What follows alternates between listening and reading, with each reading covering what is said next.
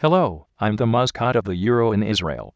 I have to give a positive image of my country, but it's really hard. I'll tell you. UEFA chose Israel is the host country for Euro Under 21.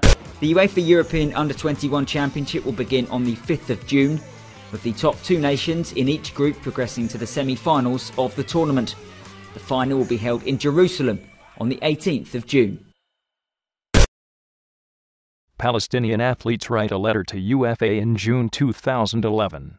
They urge to give the red card to Israel apartheid state which prevent the development of sport in Palestine. For example, Mahmoud Sarsak, team player of Palestine, spent three years in prison without charge and without trial.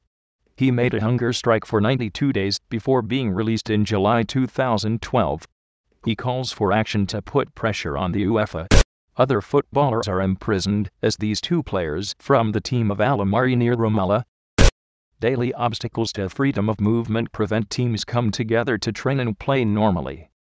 And most recently in November, in Gaza, four teenagers playing football were murdered and a stadium was bombed. This attack causes the reaction of 50 professional footballers. They say that it is unacceptable that children are killed while they play football.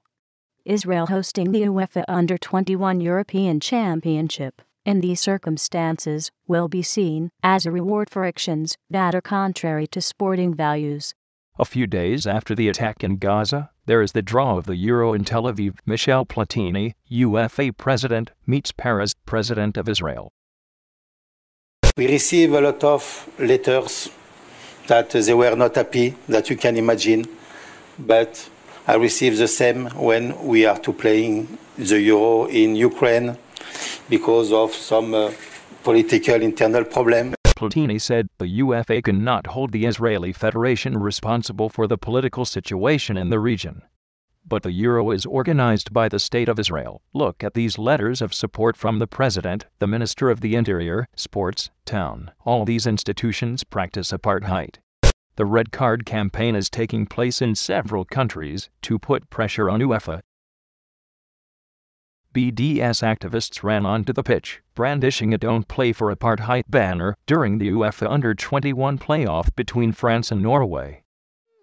Activists protest against the Euro during the meeting of the Executive Committee in the headquarters of the UEFA in Switzerland. Shame on you! Shame on you! Shame on you! Shame on you! Shame on you!